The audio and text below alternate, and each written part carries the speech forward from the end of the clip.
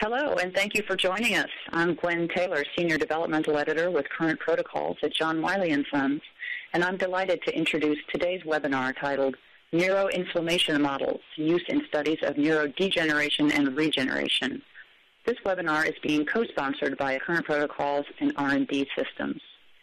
As the flagship brand for Bio-Techne, R&D Systems bioactive proteins, antibodies, and related tools have been trusted by the industry for nearly 30 years. Current Protocols is the largest collection of peer-reviewed, authoritative, and regularly updated step-by-step research techniques and procedures available for life scientists worldwide.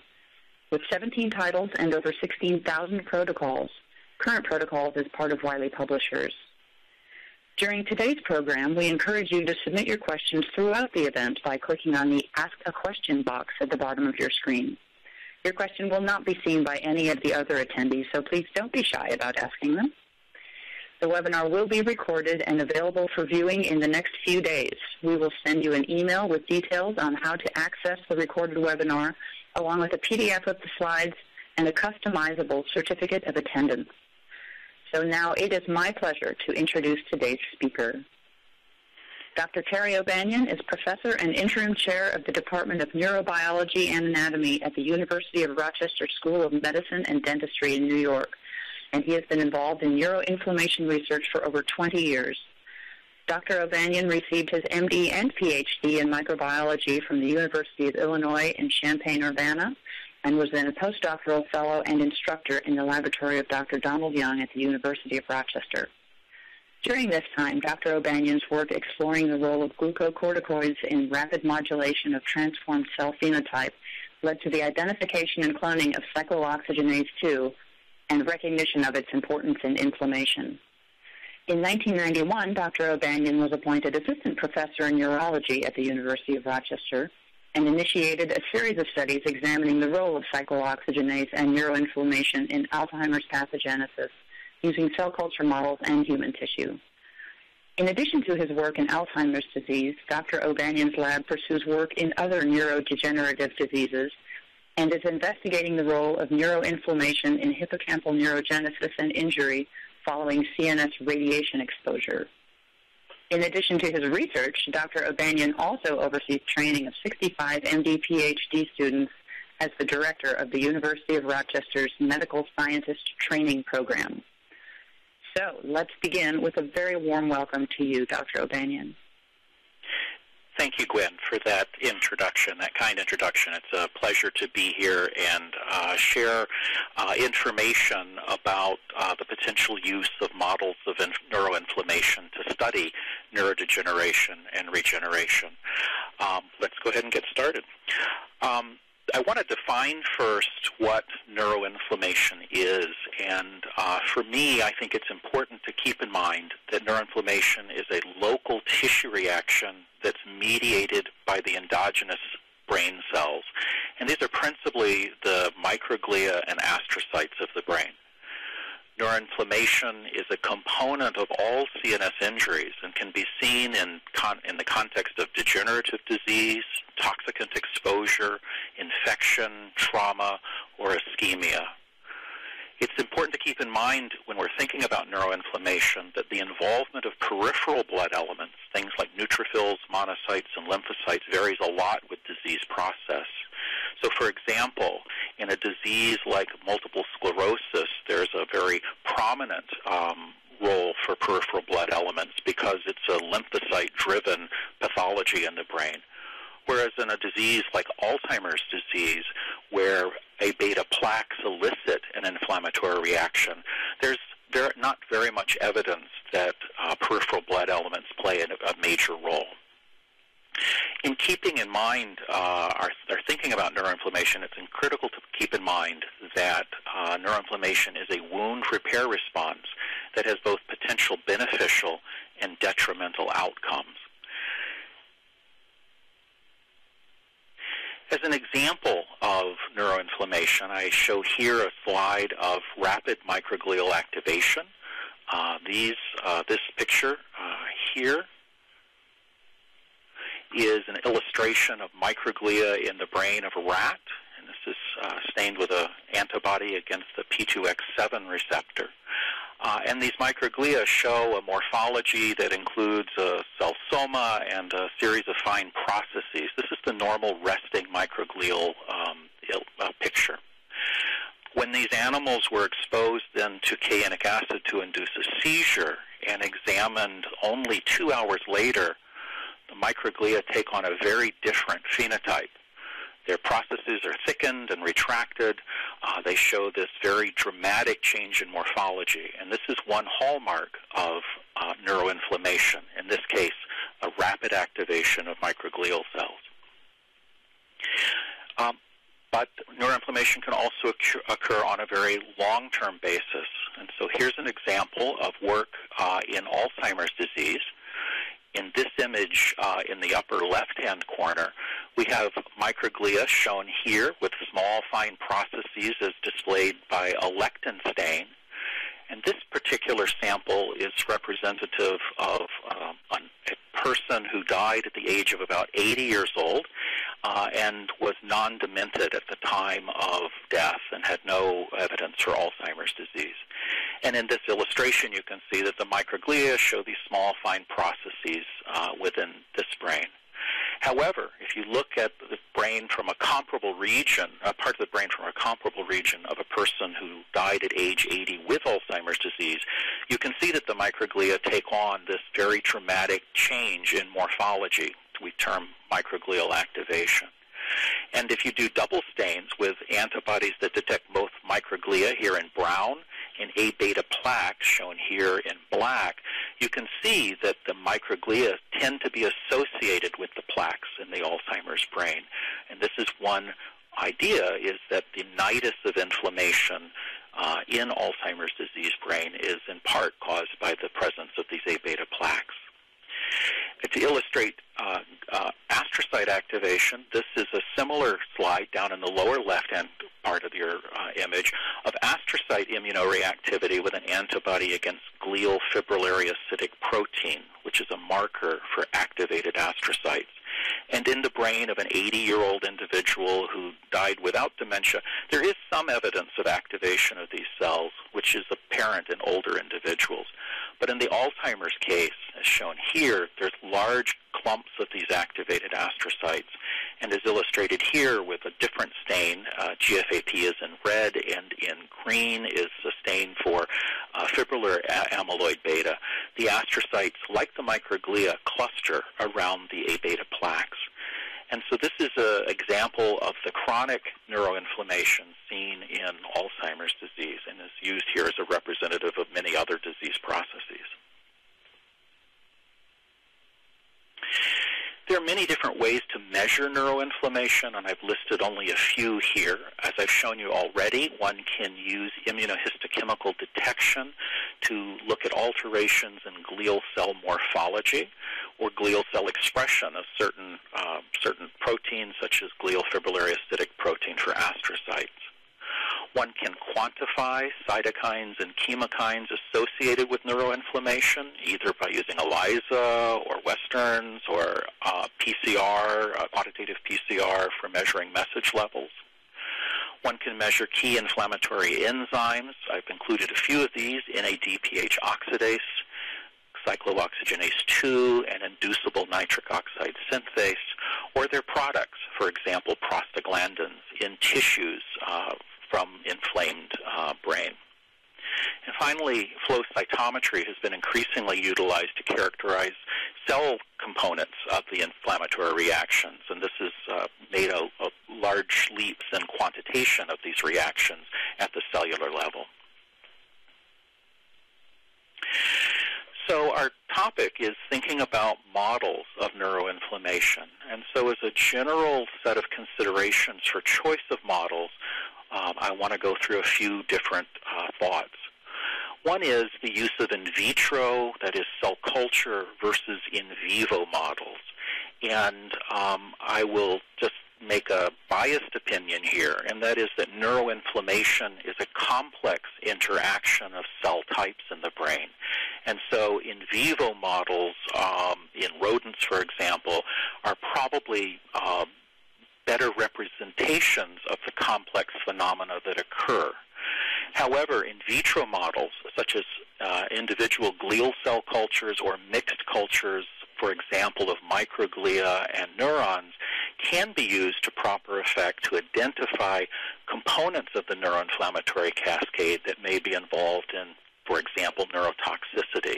And these have been used widely to um, test hypotheses about uh, different molecules that might be involved in the process. However, I would just state um, that testing these in vivo then becomes an important further characterization of these mechanisms and is an important fact because inflammation in the brain is a very complex phenomena and many different factors may be involved. Another consideration for model choice is the timing of the inflammation. Are you thinking about modeling acute processes such as uh, the effects after trauma or ischemia, or a chronic long-term process such as neurodegeneration found in Alzheimer's disease?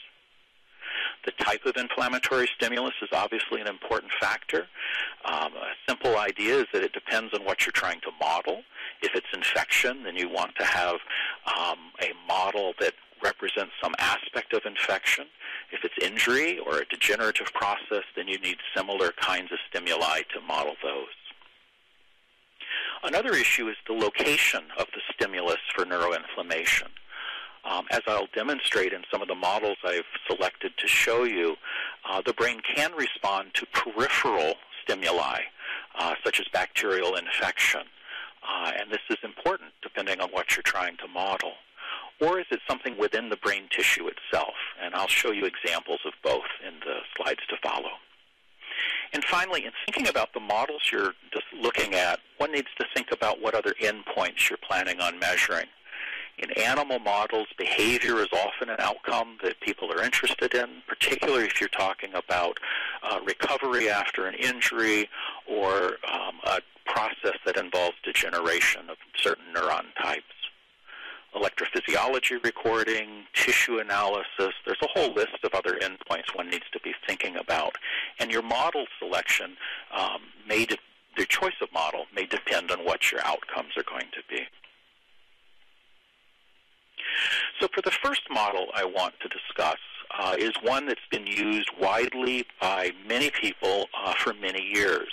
And this is the exposure of an animal to a peripheral injection of lipopolysaccharide, or LPS. Lipopolysaccharide is a component of gram-negative bacterial cell walls and as a potent inflammagen, that is, it elicits an inflammatory reaction by activating toll-like receptor 4. Now, the toll-like receptors are a set of molecules found on many cells in the body, but particular cells uh, such as macrophages and monocytes. And activation of these receptors leads to the rapid stimulation of a systemic inflammatory response and these cells dump out peripheral cytokines and a number of other factors that are part of this response. Now, these cytokines and other factors that are released by the systemic inflammatory response to LPS have marked effects in the CNS. For example, the induction of fever, the induction of sickness behavior. These both we can we both can identify with when, in our own experiences with infections. Um, and finally, in you can get induction of microglial activation and a neuroinflammatory cascade. The mechanism of how LPS does these things is not fully understood. It may be that there could be transport of LPS or specific cytokines into the brain and have direct effects there through areas of the brain that are permeable, uh, that have a less developed blood-brain barrier. Another mechanism that's been studied is indirect activation of brain microglia by induction of prostaglandins. For example, in the systemic reaction following LPS, brain endothelial cells become activated and express new molecules. And these include the production of prostaglandins that may go then into the brain and elicit a further response within that tissue. And finally, there is some evidence that uh, there may actually be peripheral nerve stimulation uh, through the vagus nerve that leads to the brain reaction. So whereas the mechanism is not clear, peripheral LPS is a very uh, strong inducer of a systemic and brain inflammatory response. There are some other considerations to think about if you decide to use peripheral LPS as your model of neuroinflammation. First, the dose of LPS must be titrated to the desired effect, and so a wide range of doses can be used, ranging from modest, modest changes to death in the animal. It's really sort of a model of toxic shock, is another way to think about it. Your source of LPS must be consistent from experiment to experiment. There are different LPS preparations from different gram-negative bacteria and obviously different manufacturers. And you may want to think about alternative approaches.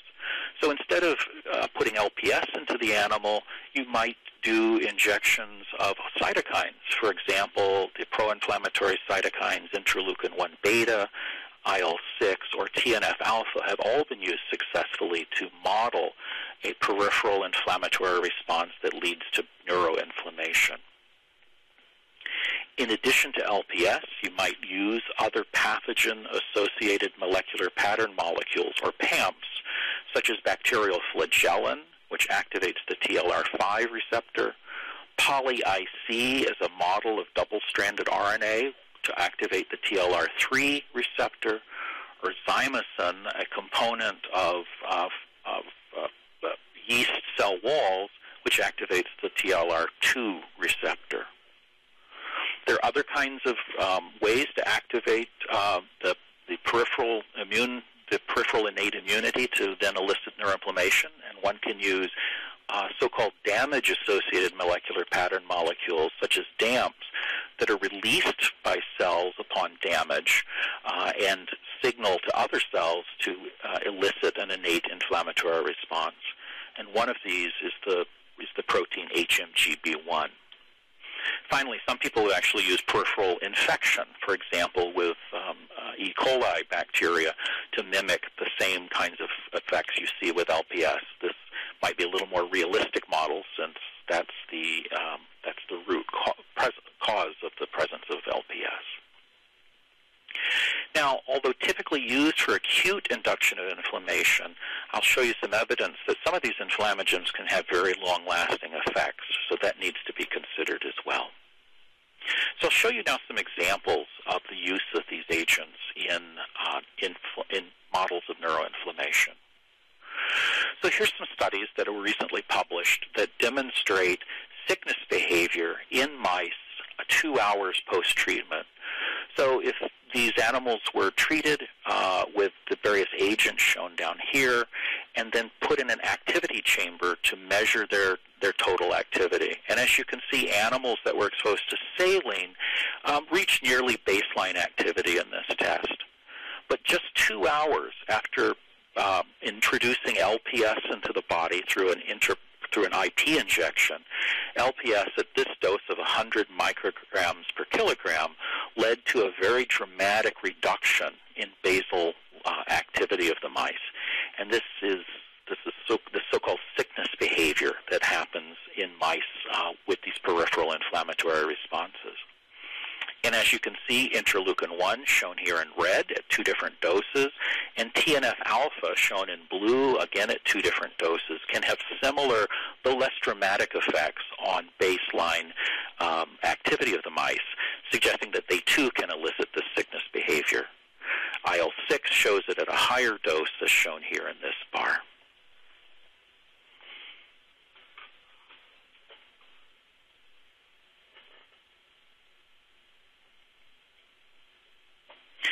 In addition to these changes uh, that happen uh, in behavior of the mice, there is, as I mentioned already, a dramatic change in microglial morphology. And that's illustrated here uh, in a recent study by Kondo et al. So these are microglia shown here in control animals. And just two days after LPS administration, one can see a dramatic change in the morphology of these cells. And the morphology is a little better illustrated in this high power view below. You can see that the processes are now uh, withdrawn and shortened in these animals. And what's important about this uh, about this data is that they show that even seven and 28 days after the LPS injection, it's just a single interper, um, intraperitoneal injection of LPS, there is a dramatic change in the morphology of the microglia, consistent with a persistent uh, neuroinflammatory response.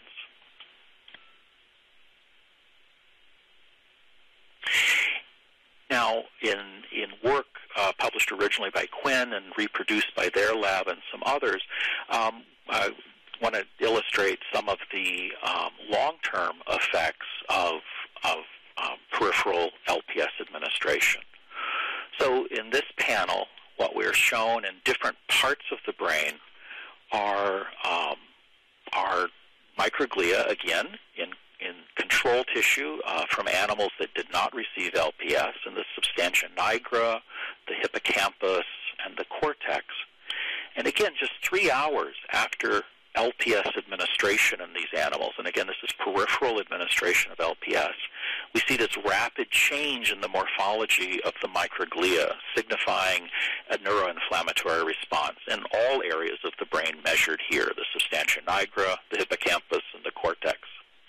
Now, what's really interesting about these studies is that the um, investigators examined the mice for a long duration after this exposure.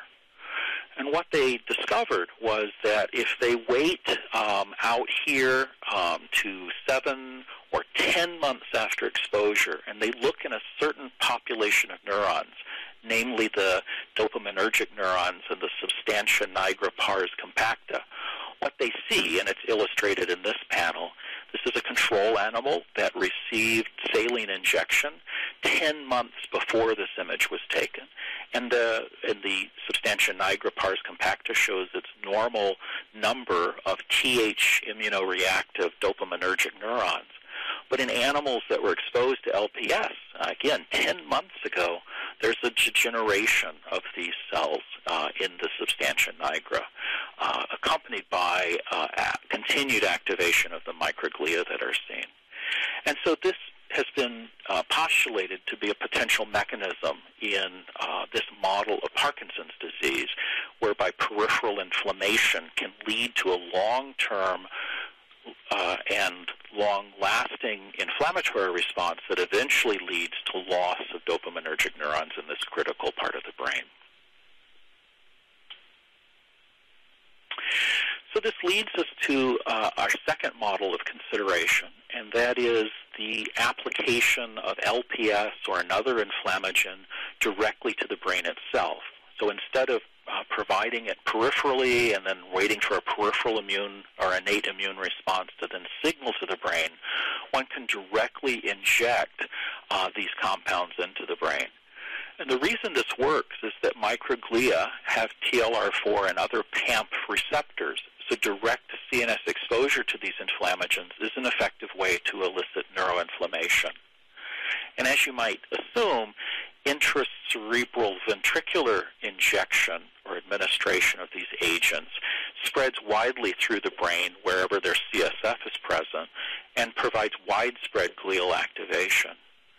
In contrast, if the injection is limited to a specific part of the brain using intraparenchymal injection with stereotaxis, you can localize the neuroinflammation to very specific parts of the brain, for example, the hippocampus.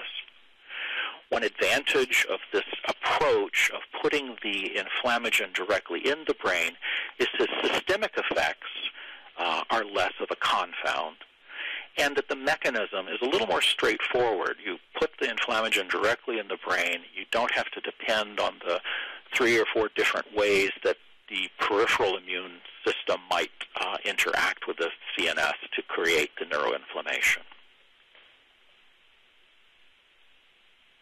So I've got a couple of examples of this work. This is work um, from Choi uh, in uh, 2008, where they used a model of direct intracerebral ventricular LPS um, in in animals to elicit uh, neurodegeneration.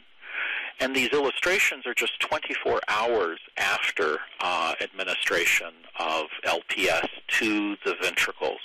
And what's shown, I'll, I'll start actually with the right-hand panels.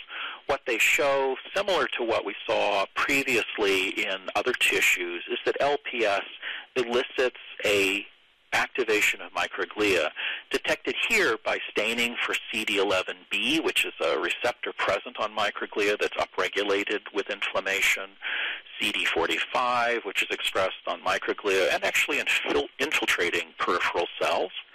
Uh, the FC receptor um, goes up, and some other proteins go up as well. So what we're seeing here is just 24 hours after ICV LPS in these animals, we're seeing a robust increase in microglial activation. And these authors also reported in specific regions of the hippocampus shown here and enlarged here, uh, degeneration of specific neuron types. And this is detected here in this panel uh, with fluorojade staining. Again, these are control animals that received a vehicle injection. These are animals that received LPS 24 hours earlier, and you can see the pickup of the stained fluorojade indicating degenerating cells. And a crescent violet stain shows some evidence here in this area, uh, better illustrated here, of um, uh, loss of cells in what appears to me to be the uh, part of the um, of the hippocampus.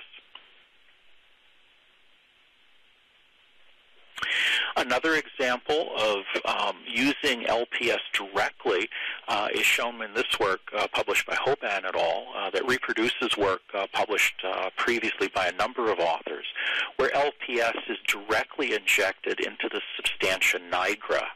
And in this example, I believe we're looking um, 20 days after the injection of LPS. So similar to the peripheral inflammatory reaction we looked at before where dopaminergic cells were lost, uh, adding LPS directly to the substantia nigra can do the same thing.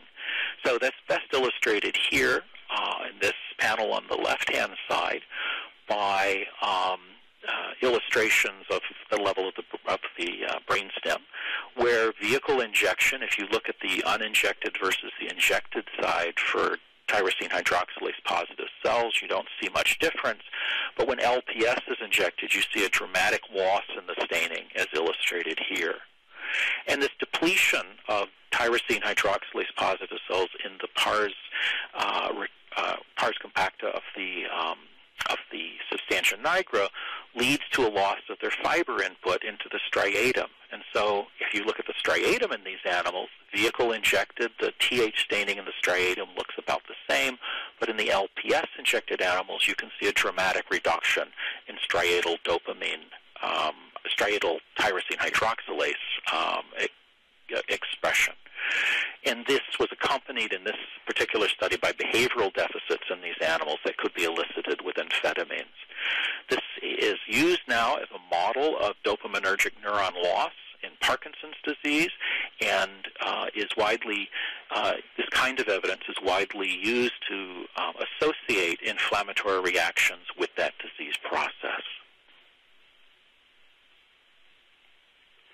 Now, one important consideration when you're using intraparenchymal or ICV administration of agents is to keep in mind that inserting anything into the brain, a cannula or a needle itself, can lead to a neuroinflammatory reaction and show. So I show here some data from a, an older paper um, published in my own lab by a talented graduate student at the time, Stefanos Kirkinidis, that shows stab wound with a needle in rats uh, that were young or old, and it shows staining in this case for, I believe this is GFAP or glial fibrillary acidic protein, the marker for activated astrocytes.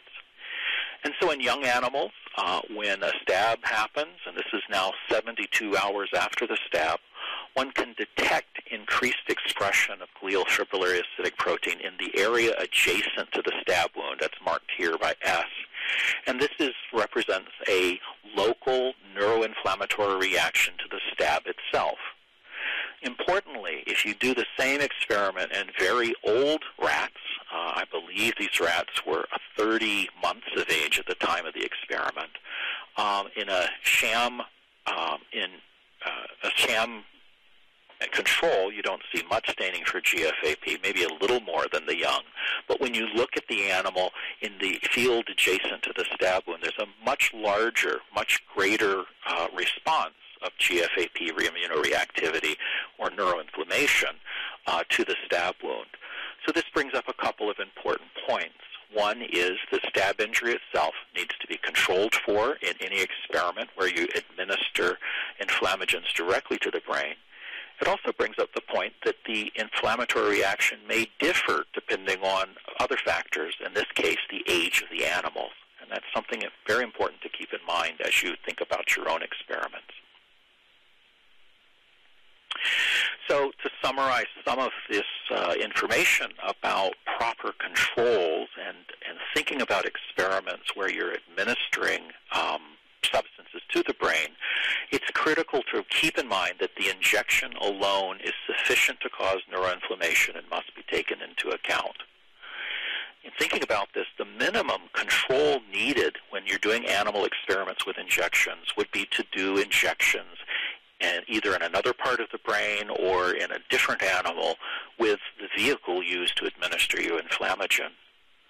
In many cases, uh, it's advisable to also include a sham injected control to determine the effect of vehicle injection alone. This sometimes will come up when reviewers read your papers, so doing it before you actually um, send the information out for publication is a useful, um, useful bit, tidbit to keep in mind. Another issue is that one can reduce the impact of injections on eliciting neuroinflammation so that you're focused more on the inflammagen that you put into the brain. And this can be accomplished with several different approaches. One can use very small needles. Uh, in our hands, we use a 33 gauge needle uh, in our stereotactic apparatus. One should use a, the minimum volume, volume possible for these injections. Larger volumes of solutes can create greater uh, damage to local tissue and consequential neuroinflammation. It's critical to in, uh, do the injection slowly so that the substance is allowed to diffuse slowly into the brain. This requires a setup with a microprocessor controlled injector.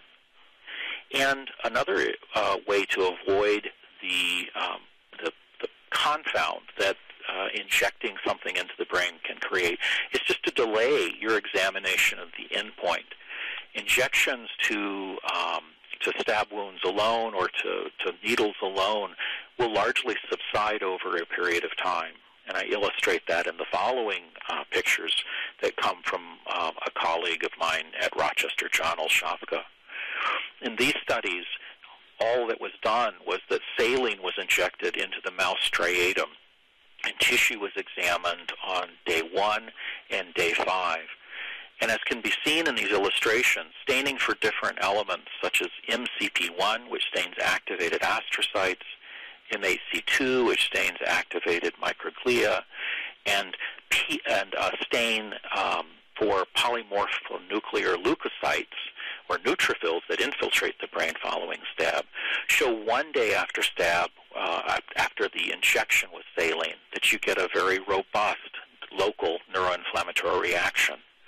However, if one waits to day five after that injection, you can see that most of this reaction has largely subsided. So in thinking about experiments and your time points, one way to reduce the impact of inflammation itself due to the stab wound is to wait uh, uh, for a later endpoint.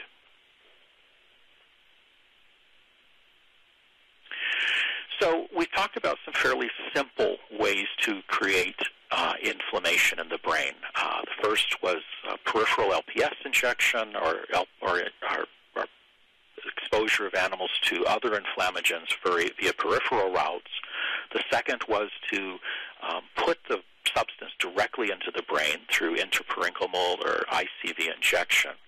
But other models have been used and are now more widely used than they were perhaps before. And this includes the development of specific transgenic mice that are, can be engineered to transgenically overexpress or express pro-inflammatory cytokines or other inflammagens. A good example of that is mice that express the HIV TAT protein, which has a neuroinflammatory um, response when it's uh, present in brain. And these these mice provide a means to explore more chronic expression or production of these inflammagens. And the choice of promoter uh, for the transgenic mice can provide some uh, temporal and or spatial control of expression. Um, but in general, if you if you set up an animal to overexpress something like a cytokine uh, using uh, standard promoters such as GFAP or neural promoters, uh, what you'll have is a very broad type of reaction in the brain uh, that can lead to um, some unexpected findings, such as major behavioral changes, such as seizures and this sort of thing.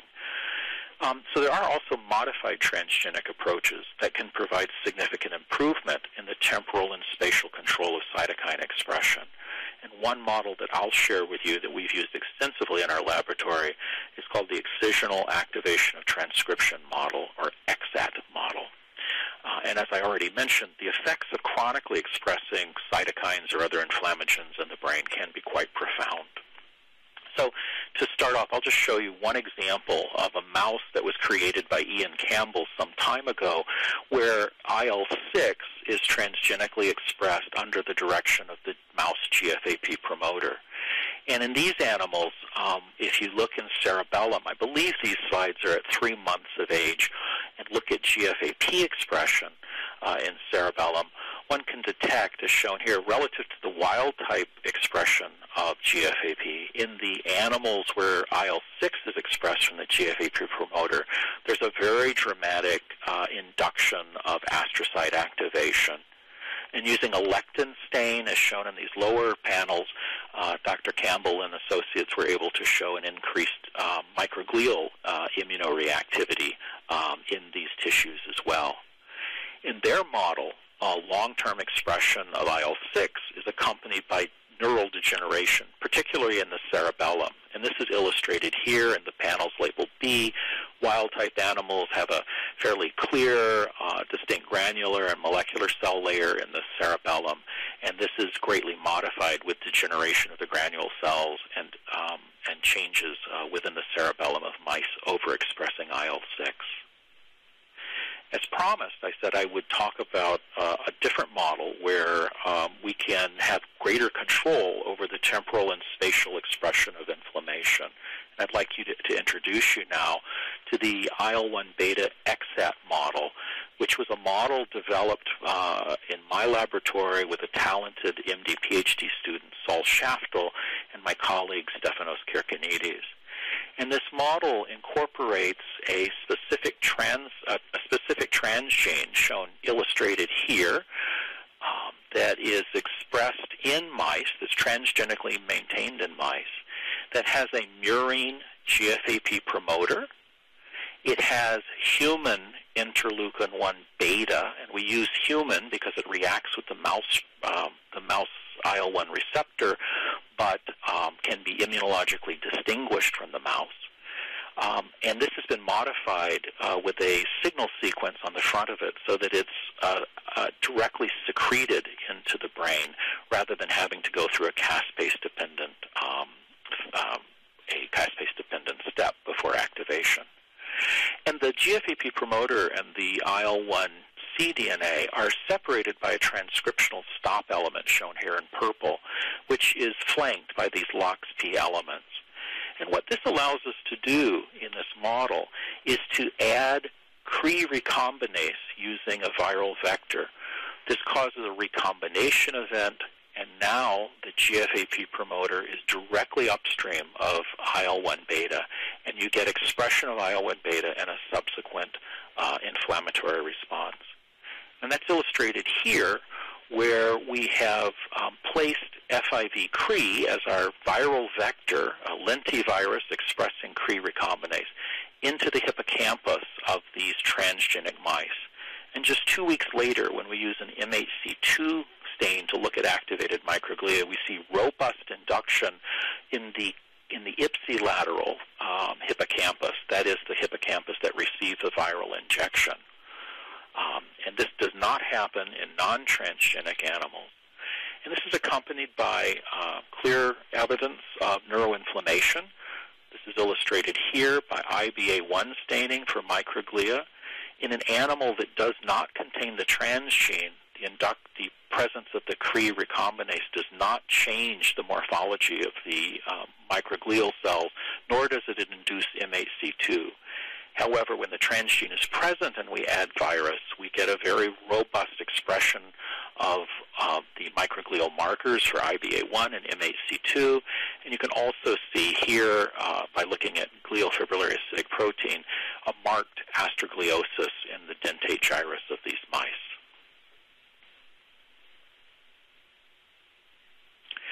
Now, we've published widely on these papers, and uh, you can uh, Google me if you want to find some additional papers uh, using this model. But just one example um, of the potential benefits of inflammation, I illustrated a paper recently published by a graduate student in my lab, Semi Ghosh.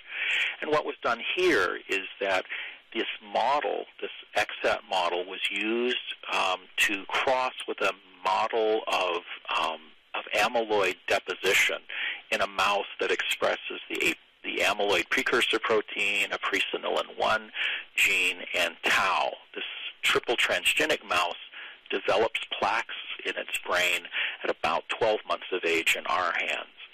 And what Semi did was to put interleukin, this, to cross the XAT model with this mouse, and then activate inflammation, or IL-1 directed inflammation, in the brain using viral Cre injection. And what you can see is that the plaque load between the uninjected and the injected side of one of these mice, uh, a wild type mouse that lacks the IL-1 transgene, is essentially the same between the two sides.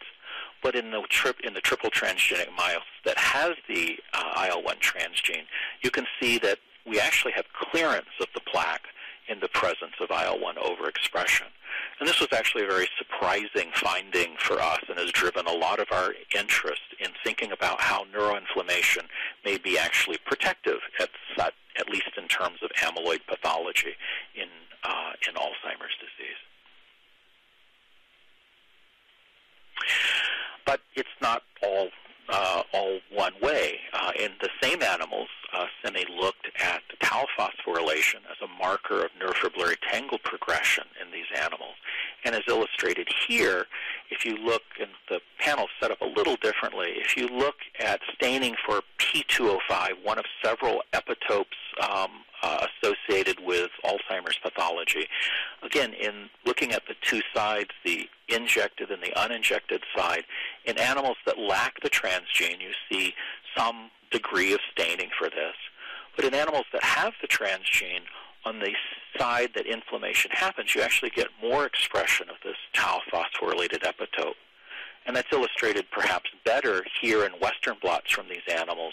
We're looking at three epitopes, uh, P2, PT205, AT180, and PHF1 are all greatly um, increased over the control uh, non-injected sides of these animals suggesting that when we overexpress interleukin 1 beta, as I illustrated in the previous slide, that one can reduce plaque deposition, but a negative effect is to enhance tau phosphorylation. And so this is, again, um, important in thinking about uh, the role of inflammation in both positive and negative aspects um, of brain pathology.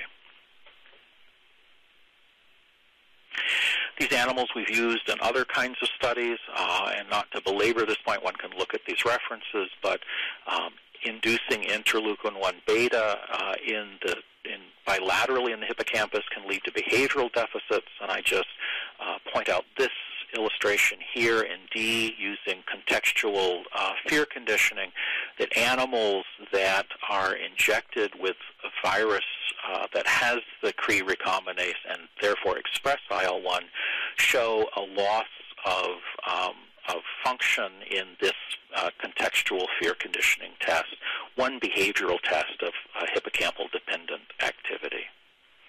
And finally, in one additional illustration from these animals, uh, Mike Wu, a graduate student in my lab, showed that um, overexpression of interleukin 1 uh, in the hippocampus leads to a robust decrease in neurogenesis, as shown here um, one month following uh, induction of inflammation by staining with the marker double cortin, shown here on the contralateral side, which uh, is ex- a molecule expressed by neuroblasts as they migrate and differentiate into the granule cells of the hippocampus. So the final model that I'd like to describe for you today is um, uh, a use of viral vectors to directly transduce cytokines or other inflammagens into the CNS. And these have the advantage of the EXAT model that I mentioned already, which provides spatial and temporal control of expression. You can wait until the animal is an adult, for example, before you uh, before you do your experiment. And they also have the potential of providing persistent expression of the cytokine or inflammagen. Now, in thinking about viral vectors for the, in neuroinflammatory models, one has to think carefully about what vectors to use. Um, the one that's most commonly used in the literature now is adeno-associated virus, or AAV. And different serotypes are available of AAV that can provide some degree of transduction selectivity.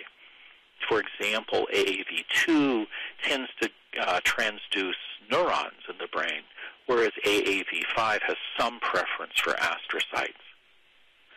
Uh, lentiviral vectors based on several different backbones are also commonly used for transduction of uh, cytokines and other uh, inflammagens into the brain. And other vectors, such as adenovirus or herpes virus, are typically not used anymore. Uh, one reason is these viral vectors show greater immunogenicity uh, and react with the brain to create their own neuroinflammatory response. So lentiviral or AAV vectors are, are better, are more preferred in these cases. And a typical control in these kinds of experiments is vi- the same viral vector, but expressing uh, green fluorescent protein or some other irrelevant protein uh, in the brain as a, as a negative control. Uh, this allows you to have the injection control we talked about before. Uh, one might also want to have sham controls as well, just to um, test whether the virus itself has any effect.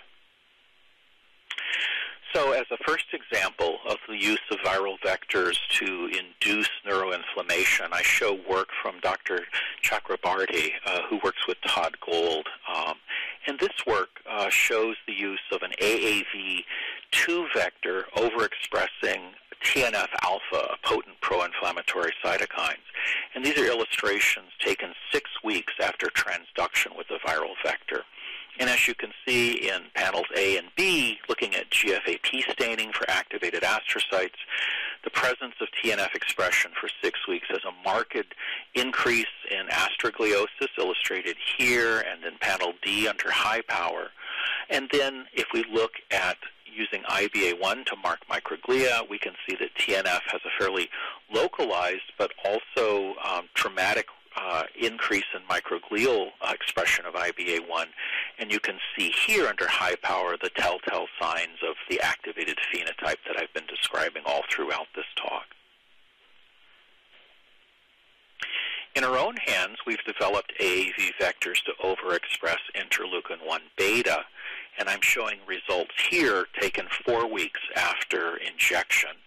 One can see, this is again using IBA1 to stain microglia in this immunofluorescent image, um, and one can see uh, staining for IBA1 that's present in hippocampus, but it's dramatically altered when one overexpresses IL-1 beta for four weeks and numbers of the uh, area occupied by the IBA1 uh, staining are shown here in terms of percent fraction area. But we also measured things like neurine interleukin 1 beta and the chemokine CCL2 in these inflamed tissues as other markers of inflammation to think about.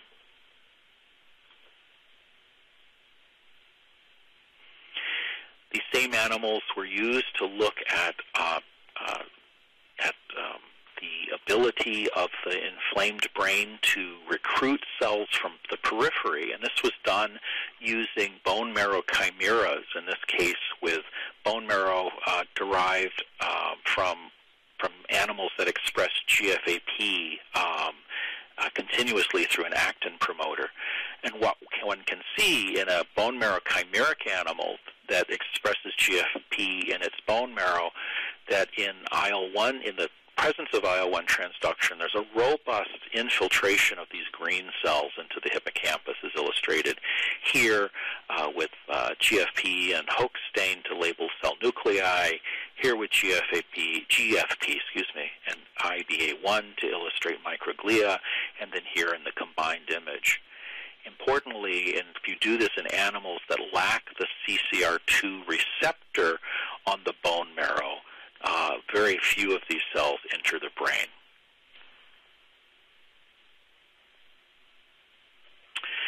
So um, I've introduced you to uh, four potential ways of eliciting neuroinflammation in the brain. And just to summarize those, there's the use of peripheral LPS or other inflammagens to elicit a systemic response that then has effects on the brain.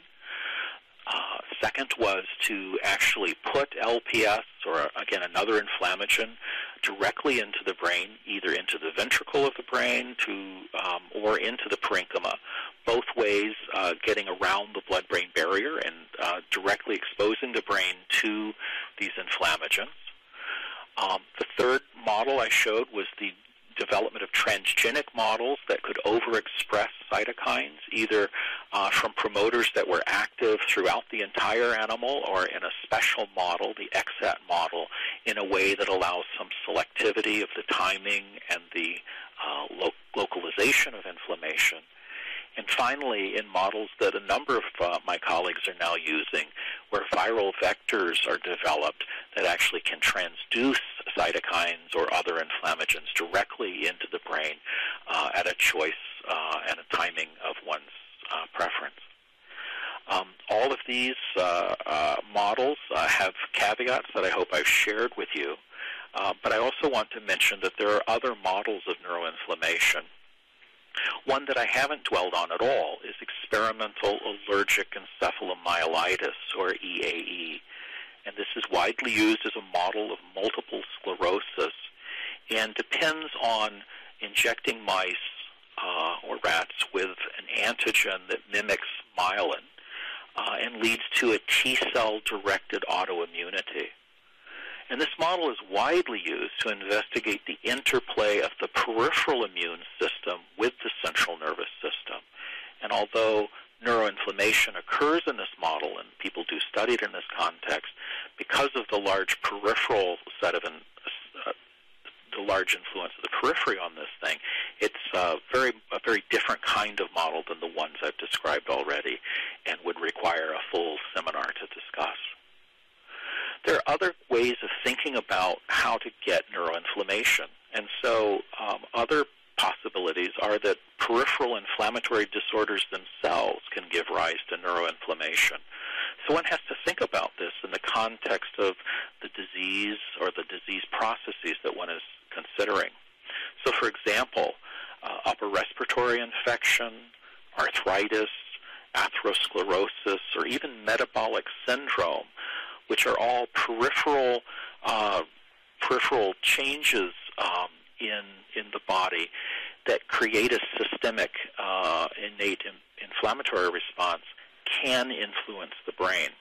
And as one example, I'll show you the, my final data slide, some work from my colleague Stefanos Kirkinidis, where a mouse model was developed that was an inducible model of arthritis specifically, arthritis was induced by overexpression of the cytokine interleukin 1 beta in joints. And in this animal, um, here, um, I think this is four months after induction of arthritis in the joints, one saw in the brain, particularly in the brain stem, a dramatic increase of both glial fibrillary acidic protein or astrocyte staining in the brain versus control animals or uh, MHC2, which indicates microglial activation in the brainstem of these animals as well. And that it, that data is quantified in this slide below. And that includes the cell staining as well as expression of uh, RNA for different uh, markers of this process. So in this model, arthritis is happening in the periphery, but the brain is responding to that change, and it leads to thinking about other kinds of models of neuroinflammation and how this is an important feature of peripheral disease responses. Something to keep in mind as you think about what you're trying to model. So to sum up, um, I think I can say it quite simply. Um, I've shared with you a number of different models of neuroinflammation and hope that these give you some uh, ideas that you can pursue in your own labs. But ultimately, there are as many ways to cause neuroinflammation as there are ways to injure the brain. And this is because neuroinflammation is such a stereotypical response to injury that although there are nuances between the different models in terms of chronicity and specific cell types involved, um, it's, uh, it's a very uh, general phenomena and one that I think uh, that my own bias is, is very important uh, in thinking about brain disease and even peripheral disease. So thank you for your time and hope that this has been informative.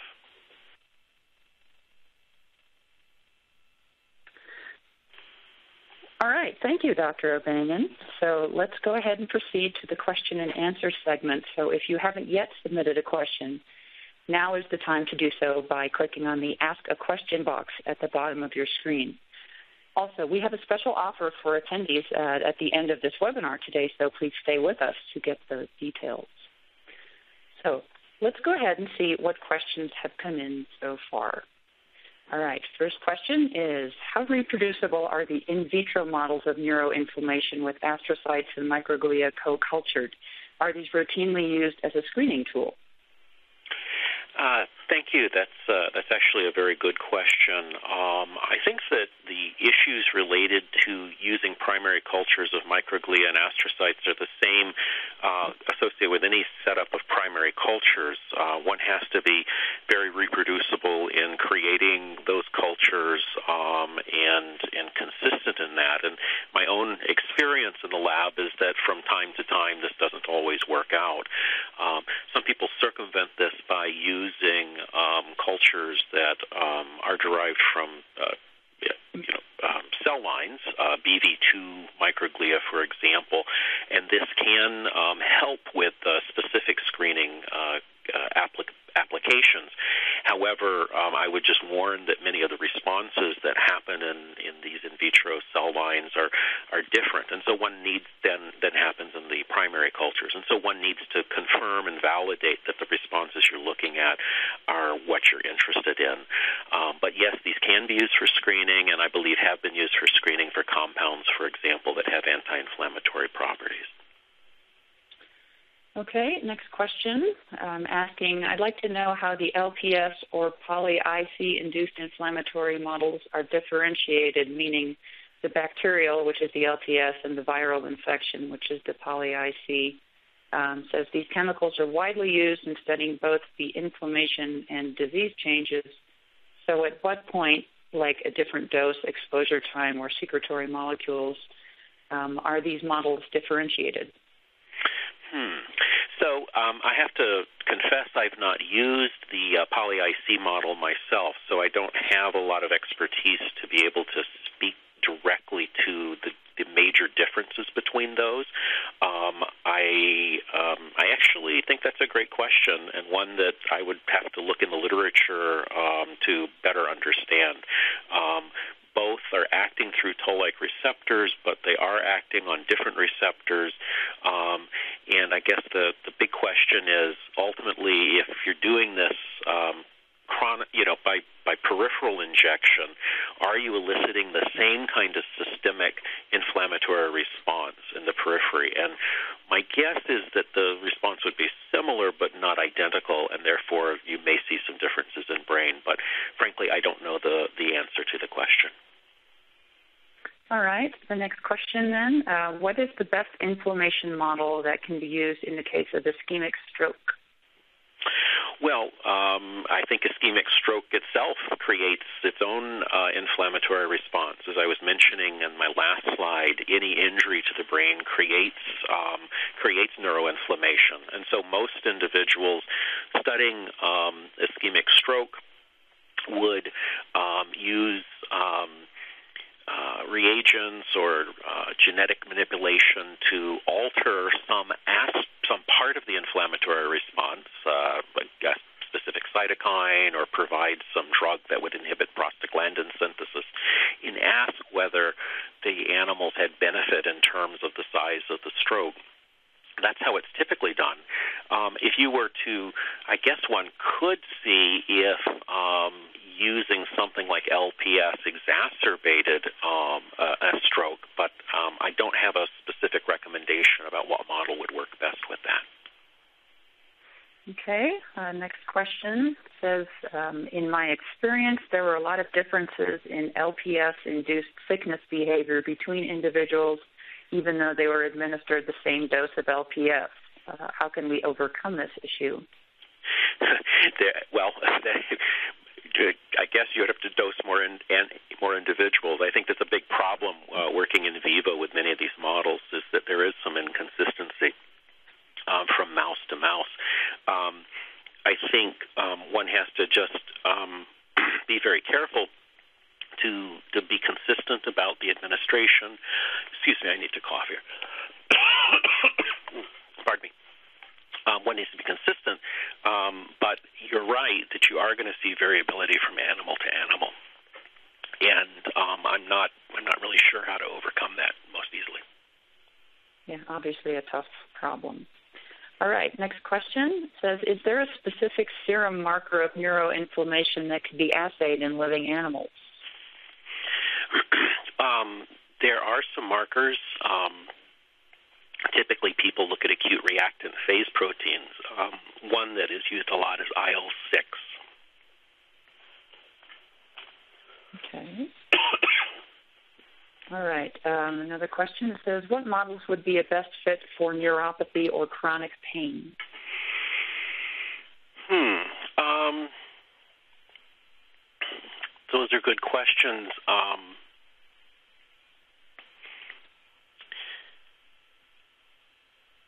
again, most of those models depend on um, nerve injury. Um, excuse me, I'm starting to lose my voice here. Are, are dependent on nerve injury or some other um, kind of tra- trauma um, or some toxicity to um, create neuropathy. I'm not sure of specific neuroinflammatory models that would be used to generate such endpoints. Okay, we're actually just about out of time, and uh, so we will. The, the, questions that have come in are great, although we're out of time. Um, so we will get back to those of you who have uh, submitted questions after the webinar. Um, as I mentioned earlier, we have a special offer for today's webinar attendees. Uh, you can get 20% off of any Wiley Neuroscience books using the discount code NEU14 um, at wiley.com, and this includes the recently published Neuroinflammation and CNS Disorders book, edited by Nicola Woodroofe and Sandra Amor, and this offer is good through 2014. Today's webinar has been recorded and will be available for viewing in the next few days. We will send you an email with details on how to access the recorded webinar, along with a PDF of the slides and instructions on how to personalize and print a certificate of attendance. So on behalf of our speaker, Dr. Kerry O'Banion, and from me, Gwen Taylor, and our sponsor, R&D Systems, we sincerely appreciate your attending today's webinar and hope you learned some valuable information.